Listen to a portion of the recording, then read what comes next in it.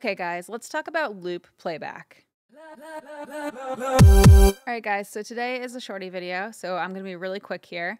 And what I wanted to talk about was loop playback and what to do if it's not working. So first of all, uh, loop playback is my default. That's what I'm usually editing in, and that's just because I like the workflow of being able to highlight something and then being able to hit play, and then when it's done, have it cycle back to the beginning of the highlight section. So um, right now, I am currently in loop playback.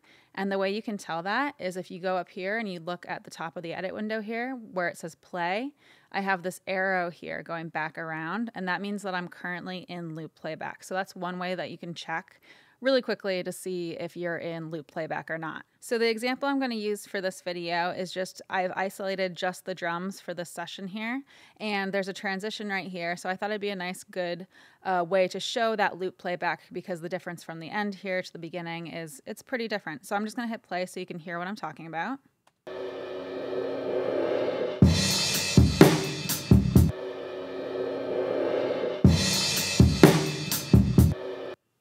And you can see how when it got to the end of my highlight there, it looped back and then started over right here. So that's what loop playback does. That's what loop playback is. So I hope that makes sense. All right, so we can check and see here if we're in loop playback. Another way that we can actually check is if we go to the options menu, we actually have loop playback as an option right here. So if it's checked off, then you are currently in loop playback. So if it's not checked off, then when you get to the end of a highlight, it's not gonna cycle back and play over again. So let's talk about how we go into and out of loop playback, right? So one way to do that is to go to this options menu and make sure that loop playback is checked off. Since I tend to operate in loop playback, I don't have to do this very often. So I usually just leave this checked off and that's how I go about my day. And a lot of times when I do want to turn it on, I do just go to the options menu, even though it's a little bit slower. It's because I don't have to do it very often. So you can make sure it's checked off here. So I'm just going to click and that's going to deactivate loop playback. And you'll see now I don't have the arrow here. And if I want to bring it back in, I just click again and now it's active again, right? So the check mark is there and my arrow is right here. So another way to do it is just to do command and then shift and then L on your keyboard. Um, so if you look over here where my arrow is, you can see as I hold command and shift and then press L, it toggles on and off. So those are two ways to do it. So Command Shift L or checking it off here under the options menu. Another way to do it is you can actually uh, hold control and that is control on a Mac. So you hold control on a Mac and you hit the play button and that will also toggle it on and off. So see how my arrow is going in there, in and out, depending on what setting I have. So I'm just holding control and clicking. So that's another way to do that. And then maybe my favorite way to do it, it's the fastest way in my opinion. If you have a numeric keypad, you can just hit four on the numeric keypad. So I'm gonna move my mouse away here, but check out this arrow here. And I'm just gonna hit four on my numeric keypad. So that's probably the fastest way, I think, to switch in and out of loop playback.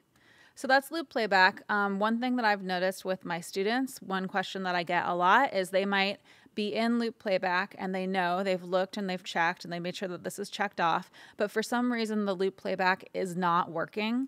And so usually what that is is when I go to look at what they have in their session is that they have zoomed way in and they have highlighted a tiny chunk of time. This might be too big. Let me try it. Yeah, that's not too big. Um, so basically, if you have highlighted a tiny, tiny chunk of time, this is not going to work, right? And actually, I think I have post roll. Yeah, so I'm going to do a command. If you look over here, these are our pre-roll and post-roll flags, and I actually have another video on this topic, um, so I can put a, a, link up top here for you guys to check that out if you're curious. But um, I'm just going to hit Command K to deactivate that because this one was orange. So it actually, if you notice, I did this tiny highlight, and then the play actually continued until this flag, and then it did not repeat because I had a tiny highlight. Um, so basically, that's why the playback continued past my uh, the end of my highlight.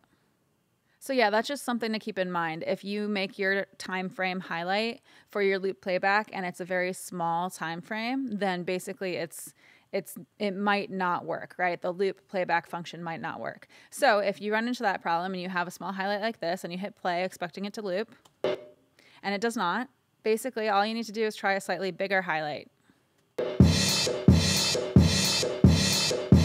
And that's it. All right, so I think that's about it. Uh, loop playback. Uh, we talked about the different ways to activate it, how to spot if it's on or off, and then also, you know, make sure that your highlight is long enough to actually use it. So let me know what you guys think of that. I hope it was useful. Let me know what you think in the comments below, please, as usual. And, you know, I do try to think of things that my students tend to ask me a lot, and then I will try to make videos out of those topics. But if you guys ever have topic suggestions, please let me know. I'm always open to those. So, yeah, as always, uh, if you like this video, please like, comment, subscribe, do all those things that YouTube people love. I appreciate all that stuff. And if you do want to support my channel more directly, I do have a Patreon. So it's patreon.com slash Noise. And my patrons do get access to additional content. So that's it. I come out with new videos every Wednesday, and thank you for watching. Okay. Uh, I do try to come up with topics. I'm just trying to do the outro here, and I keep it up.